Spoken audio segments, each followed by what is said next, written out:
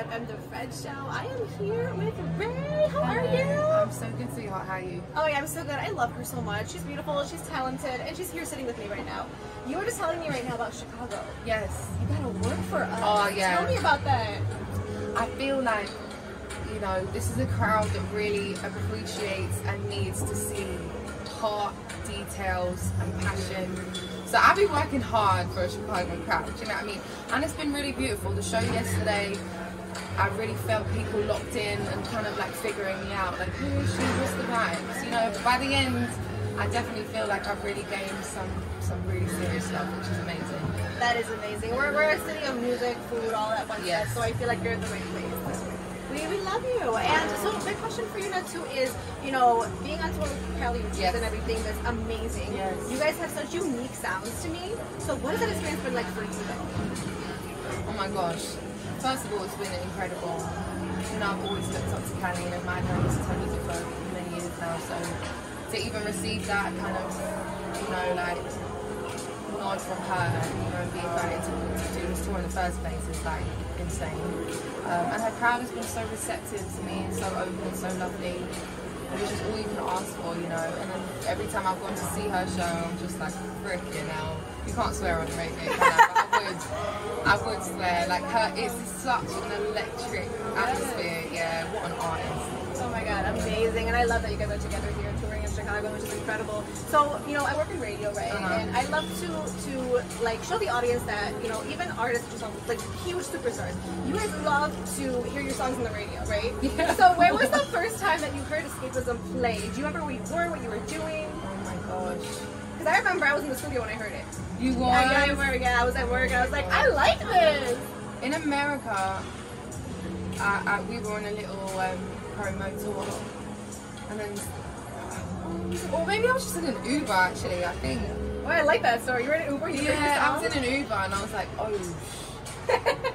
Insert another swear word. I think it's like one of them things that for a British artist, it's Yeah. that thing of like making it in America or like whatever. It's such a big, intimidating sentence. So to like be in America and then hear your music being played on the radio, it's kind of a thing of dreams, my dear. It doesn't feel even real to, to this day. Yeah, it's kind of really nuts. Oh my god, no, I love this for you. And you are in your, I call it like your Raye era. You know, like they make fun of me on the show that I work on. They say like, you know, that I'm, I could be this Petty here and there, and I'm like, I, I really can be though, and I love it. but I do ask, I do say that to, to ask you, you know, being in this era and kind of like where you are and everything. How does it feel to, you know, get your flowers right and, and, and to be like where you are today? How does that feel for you, especially being in this new era? Um, it just does feel so validating, you know, and I think, you know, nothing happens overnight, and a lot of, I mean, so much hard work and heart has gone into um, everything I do. I just think it's been really beautiful to be able to rewrite my narrative, you know, like back home.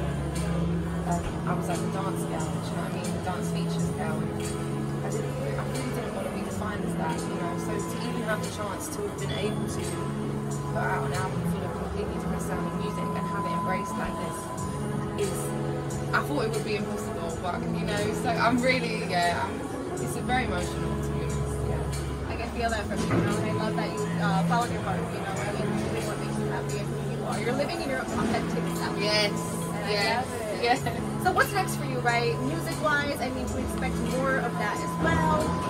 yeah I'm definitely at a point where um, basking in the freedom that anything can be done right now in terms of what sort of sounds I can release, in what way I want to release something. So I'm definitely kind of my mind's in creative mode, kind of searching for the right next steps. Nothing concrete yet, but um, I've definitely got some exciting things I'm working on for sure. But we're excited. We can't wait for that. We can't wait for to back to Chicago. Yes. Come visit us in the summer too. It's almost summertime. Yes, I know no. it's beautiful today. It's stunning today, Yes. and I'm coming back. I'm coming back Well, we can't wait to see Thank you. Thanks so much for having me. Thank you. Oh my god, thank you. Oh, bless you.